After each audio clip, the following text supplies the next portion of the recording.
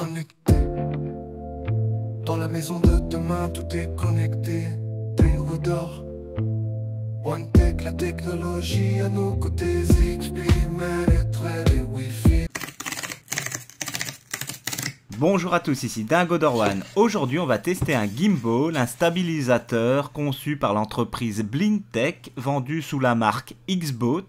La particularité de ce stabilisateur, c'est qu'il est censé remplacer un caméraman grâce à l'IA, l'intelligence artificielle. Le modèle que je vais vous présenter, c'est le modèle Xbot Go. Dans la boîte, on a le manuel, pas de français, mais l'entreprise m'a promis de mettre un manuel en français sur le site de vente en téléchargement libre. On a également un petit sac de transport, c'est doux au toucher un câble de recharge en USB-C, malheureusement il n'y a pas d'adaptateur secteur. On a également une sangle de poignée et un trépied pour poser le gimbal sur une table. Et pour finir, le gimbal. Mais avant de l'allumer et avant de regarder les différentes fonctions de ce gimbal, on va passer d'abord à la recharge. Il conseille un adaptateur secteur de 5 volts 2 ampères. Sur le côté gauche, on aura ici le port USB-C. On voit 4 LED, on insère le câble et il y a une indication bleue de charge qui clignote. Une fois complètement chargé, les 4 LED bleus restent allumés fixes la charge complète si la batterie est complètement déchargée va durer environ 1h20 pour une autonomie de 3 à 4 heures. Il est également écrit dans le manuel qu'on peut utiliser ce gimbal, donc ce stabilisateur, même si on est en train de recharger. J'ai vérifié et ça fonctionne. On peut toujours utiliser ce stabilisateur, même si on est en train de recharger, ça c'est super. On est en extérieur, on peut utiliser une power bank, une batterie externe et le produit fonctionne toujours, donc ce stabilisateur fonctionnera toujours et ça c'est top. Le placement du téléphone se fait assez facilement, il faut étirer le support des deux côtés, mettre le téléphone bien au milieu, si vous avez une coque de protection, malheureusement, le mieux c'est de l'enlever pour un meilleur maintien car le support à ce niveau-là, il est trop juste. Pour allumer le gimbal, il suffit de rester appuyé sur le bouton Power. Une fois le gimbal allumé, le bouton Power sert également à mettre le téléphone verticalement et horizontalement. Il suffit pour ça d'appuyer une seule fois dessus. La motorisation du gimbal est ultra silencieuse, vous n'allez entendre aucun bruit.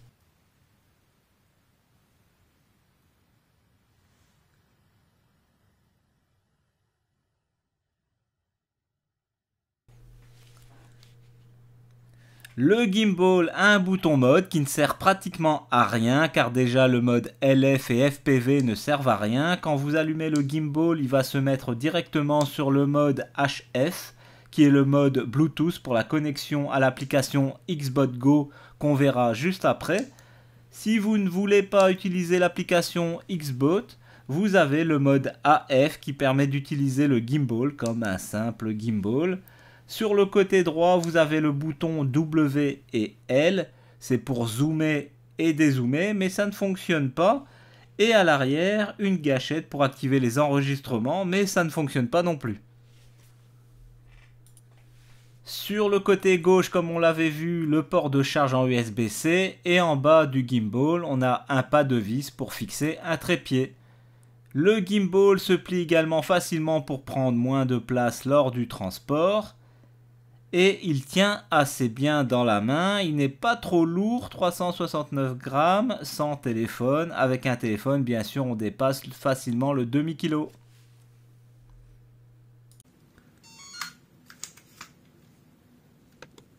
Regardons maintenant un peu de plus près l'application qui s'appelle Xbot Go. Pour connecter le gimbal, c'est très simple. Vous avez un petit plus ici, vous connectez et euh, de toute façon, dès que vous l'allumez, c'est connecté. Je vais vous le déconnecter, vous allez voir. Voilà, je vais vous le remettre. Donc ici, vous avez ajouté un device. Vous faites plus. Voilà, l'application n'est pas en français pour le moment.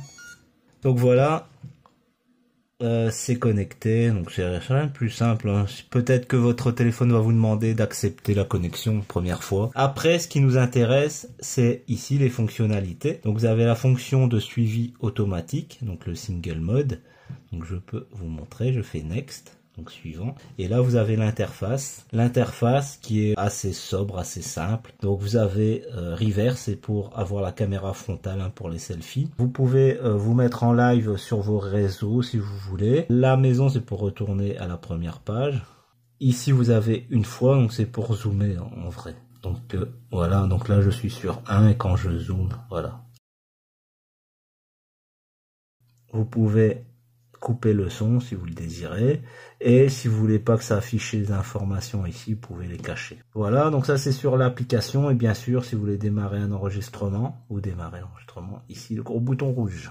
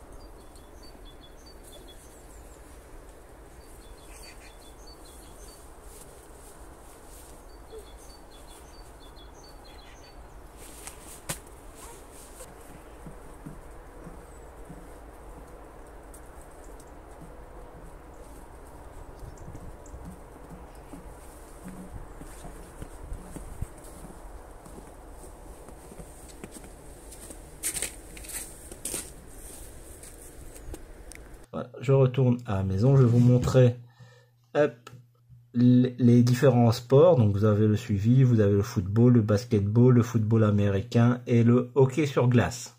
Donc si je prends le football par exemple, je fais suivant.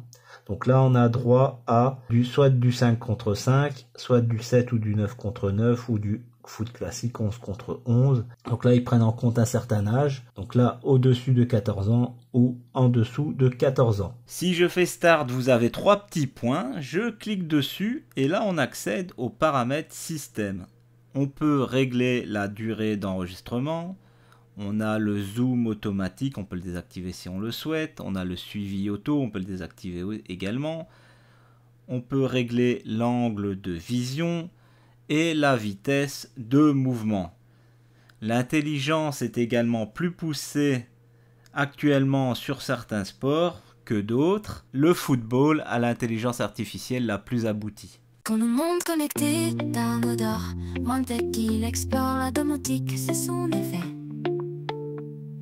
Des lumières qui dansent, des volets qui s'ouvrent, la maison intelligente, c'est son rêve qui se prouve. D'un d'or vous avez le basketball. Et là, on a soit le terrain complet ou le demi-terrain. Et là, pareil pour l'âge, au-dessus de 14 ans ou en dessous de 14 ans. Notre héros du numérique, avec sa passion pour les gadgets magiques, des ampoules qui clignotent au rythme de la musique. Et des serrures qui s'ouvrent d'un simple clic. Tu as son official mis en tête. Il teste, il bidouille, il ne connaît pas la Ensuite, on a le football américain. Donc le hockey sur glace. Vous avez le terrain complet et au-dessus de 14 ans ou en dessous de 14 ans. Maintenant, une fois que vous avez filmé, vous avez les fichiers. Donc les fichiers, ils se retrouvent sur votre téléphone, mais ils sont cryptés. Donc pour les récupérer, il faut donc vous allez dans Manage au-dessus, vous sélectionnez la vidéo que vous voulez récupérer. Je vais prendre la plus petite ici. Et il faut la télécharger. Donc, et ça va sauver dans votre euh, fichier photo. Voilà, donc ça sauvegarde. Et vous avez également le cloud qui est gratuit. Donc ça c'est bien. Avant il n'était pas disponible. Et bon, j'ai Xbox l'a activé enfin parce que c'était pas normal qu'il ne l'active pas puisqu'il promettait un cloud 100% gratuit et là c'est bien ils l'ont activé. Donc au niveau du cloud, donc c'est très simple. Si vous voulez les sauvegarder votre cloud, vous faites la même chose, manage. Vous prenez la vidéo, vous l'uploadez et ça va ici l'uploader dans le cloud. Donc si vous si vous reste plus beaucoup de stockage dans votre téléphone, ça c'est bien le cloud gratuit. Ça permet de sauvegarder un maximum de vidéos sans remplir votre mémoire de votre téléphone, ça c'est bien. Donc c'est pour ça que le cloud gratuit c'est vraiment un plus. Voilà, donc là vous, vous retrouvez la vidéo qui va se retrouver là. Donc vous voyez, je peux la mettre autant de fois que je veux sur le cloud, il n'y a pas de problème. Je ne sais pas s'ils vont limiter ça après ou pas. Dans l'application, on a également un petit logiciel de montage pour découper, couper une vidéo, pour garder, partager le moment fort d'une longue vidéo. Je vais prendre celle-là par exemple. Je vais faire suivant. Voilà. Et par exemple, je veux ici, je rajoute à partir d'ici à partir d'ici, à partir d'ici. Voilà, et je prends à partir d'ici. Voilà, je fais suivant. Donc là, ils me disent avant, donc 10 secondes avant. Disons que je mets une seconde avant et euh, 3 secondes après, donc euh, la fin, donc disons une seconde après. Donc ça c'est pour euh, si ça prend encore de la vidéo avant et de la vidéo après, comme c'est indiqué. Je fais ça et ça va me faire le montage.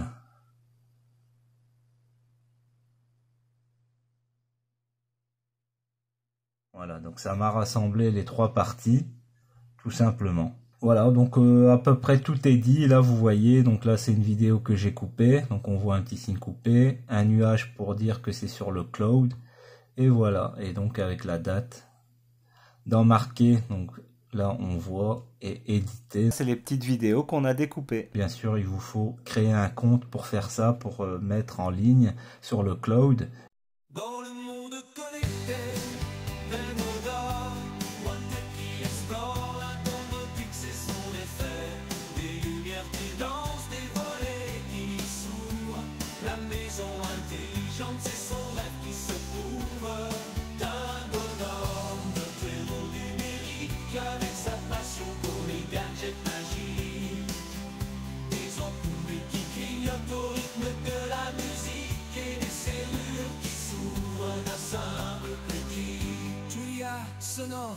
En tête. Il teste, il bidouille, il ne connaît pas la défaite. Des interrupteurs qui parlent des thermostats malicieux. La maison devient vivante, c'est merveilleux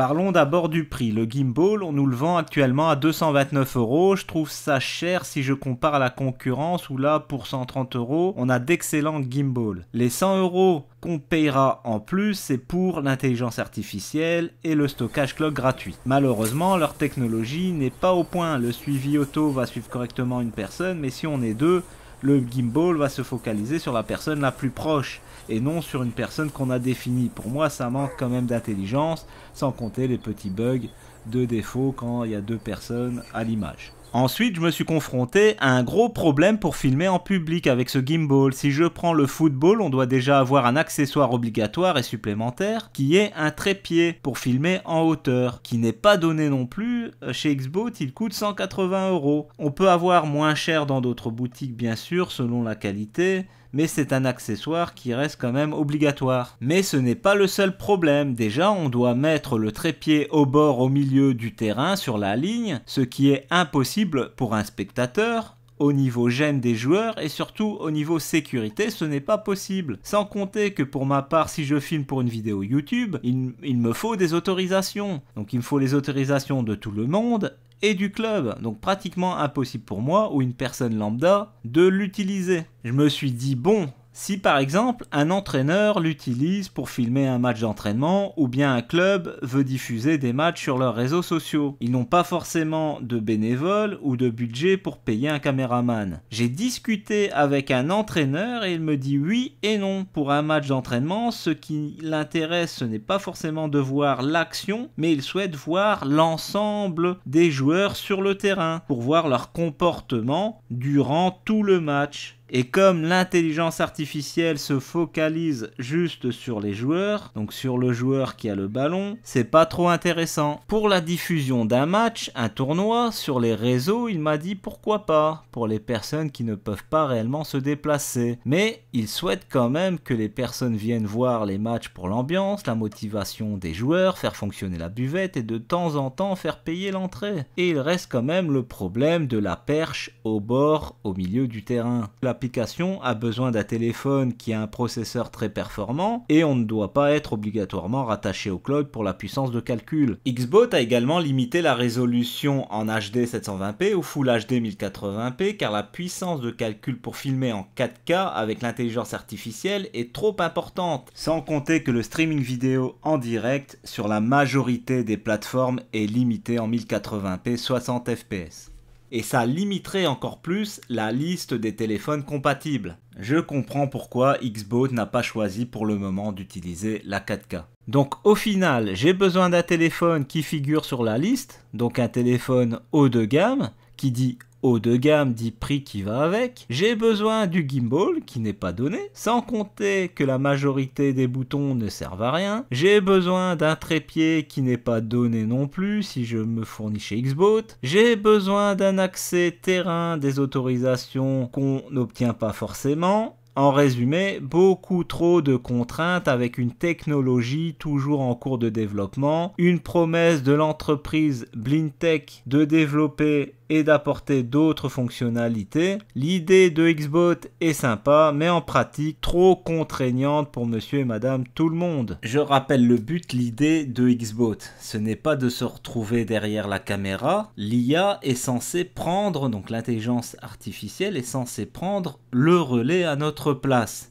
Si c'est pour être dans les gradins et filmer soi-même, ce système n'a aucun intérêt et ça ne fonctionnera pas et filmera les personnes dans les gradins et non les joueurs sur le terrain. Si vous regardez d'autres vidéos sur ce gimbal, vous allez remarquer que personne n'arrive à l'utiliser correctement car les conditions sont trop contraignantes pour avoir un bon résultat. Si vous avez encore des questions, n'hésitez pas, la chaîne et le blog ont été créés pour aider. Comme d'habitude, je remercie les anciens d'avoir commenté, regardé et liké. Un grand merci d'avance aux nouveaux pour avoir rejoint la chaîne en vous abonnant. Je vous dis à la prochaine, c'était Dingo Dorwan.